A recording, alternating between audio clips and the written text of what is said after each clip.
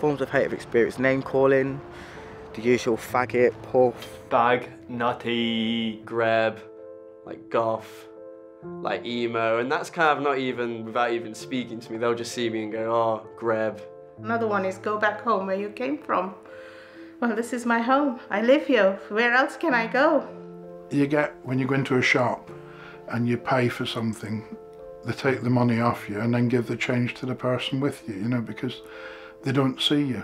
You know, uh, I'm there. I, I'm 20 stone plus. I'm three feet wide, and people don't see me.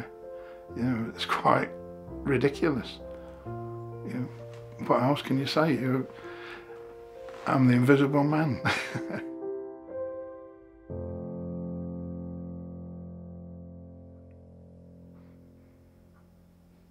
How would you describe yourself? Um, that's a good question. That, that's I'd never thought of that. Um, probably transgender. Um, that is of the male to female variety. I I suffer from mental mental health problems and and it's probably I've had disability all my life and it's probably been worse because of my because of my my mental health problems. It brought on my mental health problems a bit worse. A survivor. Yeah, that's probably the answer. I'm a survivor. Uh, I had polio almost from birth, and I grew up with that. The kind of things I've experienced over the years are like physical, verbal, kind of a bit a bit psychological in a way.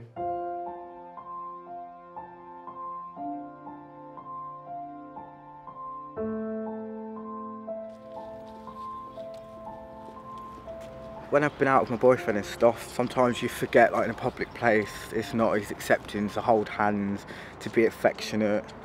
You can feel awkward, especially if you do it without realising and you see people staring or kids pointing to the parents and sort of asking questions, mummy, why is that boy holding that other boy like that and stuff. The main experience, my worst experience was being out on the night out in Braunstone Gate with some friends, um, was leaving the club, getting ready to leave. I'd had a couple of drinks, I was quite merry this straight lad had said a few comments, me being drunk, not sensing how this situation could have escalated as quick as it did. I said something back before I knew it, I was being attacked and at hospital having to give police statements the days after. Um, the lad was took to court, he was prosecuted for it for a common assault and I think some sort of homophobic abuse.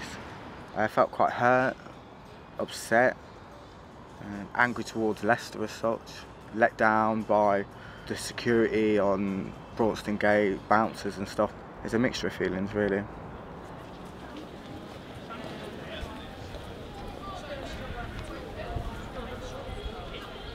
I have experienced a load of different forms of hate. Um, if, like um, like bullying on the bus, um, bullying in the bus queue, bullying at the train station, um, online bullying, but probably one of my worst feelings is when I would threaten to be killed. They make me feel very low and quite suicidal at times, and I have tried to take my own life on several di different occasions. Overdoses, jumping off a off a roof of a building, um, cutting myself. So um, several different times, several different kinds of taking my life the perpetrators are normally people who don't have the empathy and don't have the understanding of the damage it, it had done to people.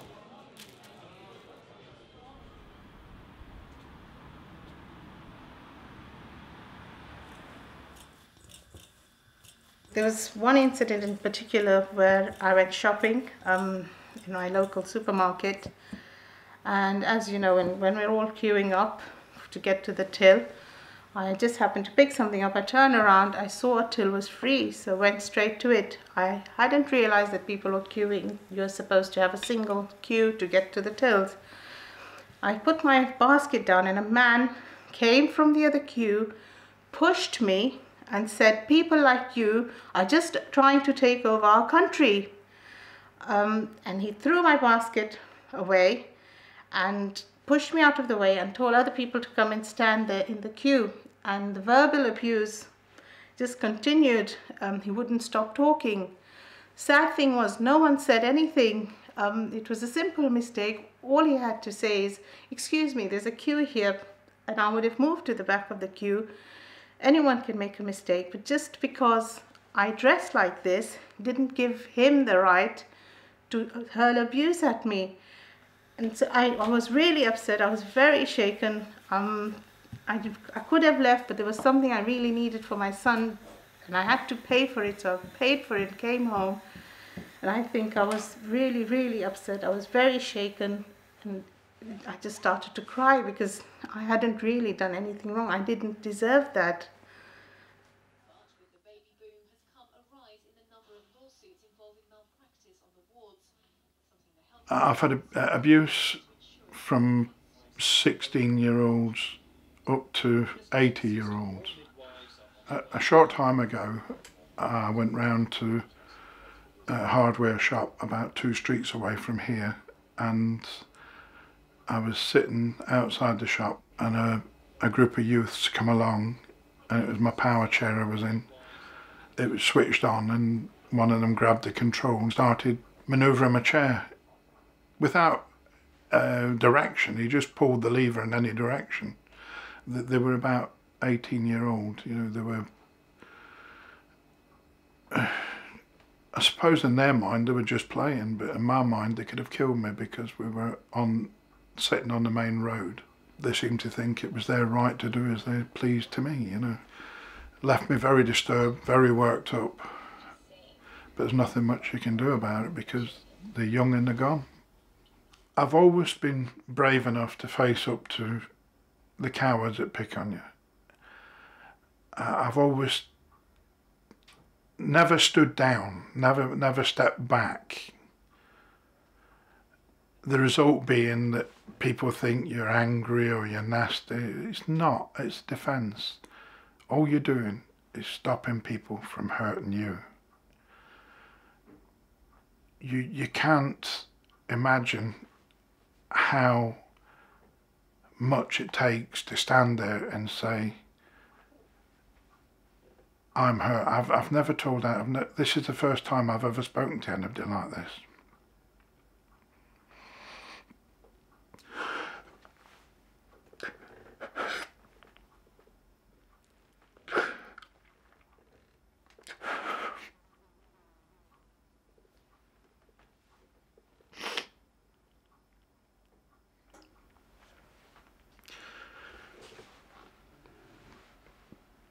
Yeah, it's uh, it's very hard to be me. And some people think you're ignorant, and it's not ignorance, it's defence. And it's a very important defence because the minute it goes down, you are so vulnerable.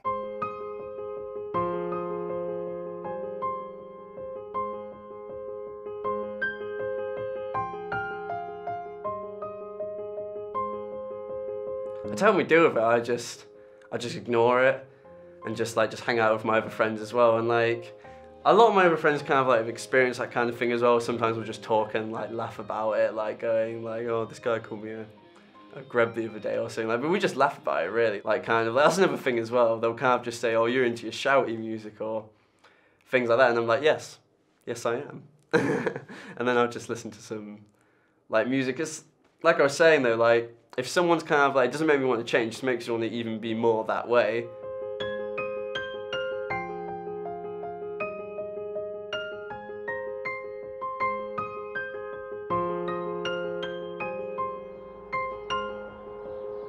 People think travellers, especially travelling girls, they're at home, they clean up, they don't work, they they're always on the benefits. Um, me, on the other hand, I've got a job. I I work every week. I am on the youth commission. I do all sponsors for things, and I help out charities in the best way I can. I think travellers is targeted really for the media. The media's portrayed travellers as we're all we're all the same. We're all we all throw rubbish and everything everywhere and we all steal and we all do things badly. Not everybody's the same. But what the media portray, everybody reads, so everybody get all travellers get targeted for what the media portray you as.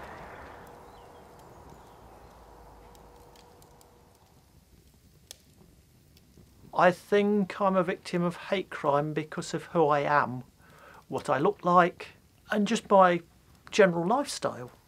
I've had people shout oi tranny and fag, every rude name you can think of. If I'm out and I'm approaching the, a car or my house, I will have the key in my hand a good 20 or more feet before I get to the door in case I need to make a quick entrance and I will be totally aware of what's going round me. You tend to be on edge all the time you're out. The advice I would give to anyone that kind of you know looks at someone is getting a hard time, like don't change the way you are at all. Just if someone's calling you a name and just saying, "Oh, you're a greb," just say, "Yeah, I am." Like don't change the way you're told because someone because I know everyone's kind of saying you should look more normal or you should cut your hair. Like don't change anything at all. Just kind of stay the way you are. Because when you get older, you you you'll find people like you, and like there's nothing different about you as a person. You just look you just look different, and you should never change the way you are just because people are telling you to. Stay strong. Stay strong. You know, the only thing you can do when people don't understand your disability is either try and explain it to them, which is not going to work in most cases. Uh, but stay strong, stay true to yourself. Don't let people get to you.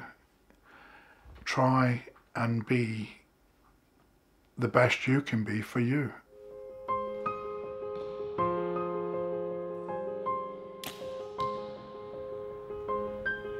If you could ask the people watching this film a question, what would you ask them? I would ask them, do you realise what damage you have done to people who have had, a- who have had a, the disability and and yeah, who had the disability? You imagine your children going to school and purposely being picked on for who they are. They're coming back, and then one day when you're sending them to school and they're on their hands and knees begging and crying, not to send them to school only because people pick on them.